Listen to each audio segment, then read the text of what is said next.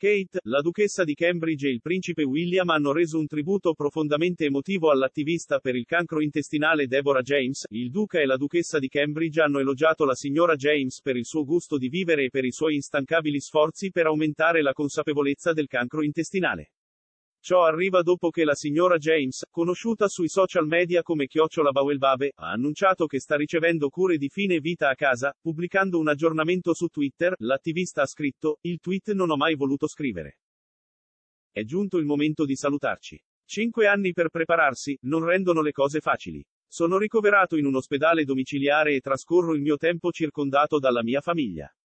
In un tributo all'attivista sul loro account Twitter congiunto, il duca e la duchessa di Cambridge hanno scritto, ogni tanto, qualcuno cattura il cuore della nazione con il loro entusiasmo per la vita e il tenace desiderio di restituire alla società. Bawel Babe è una di quelle persone speciali.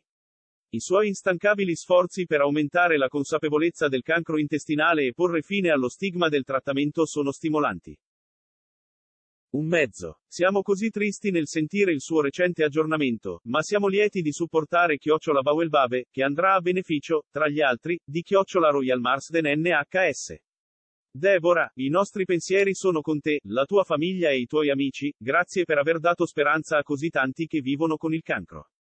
WC, alla madre di due figli è stato diagnosticato un cancro terminale o l'intestino all'età di 35 anni. Ha quasi 500.000 follower su Instagram e co-ospita un premiato podcast sulla convivenza con il cancro, chiamato You, Mete Big C. Oltre a raccogliere enormi somme di denaro per enti di beneficenza contro il cancro intestinale, la signora James ha anche scritto un libro, intitolato F asterisco asterisco asterisco You Cancer, How to Face the Big C, Live Your Life and Still Be Yourself.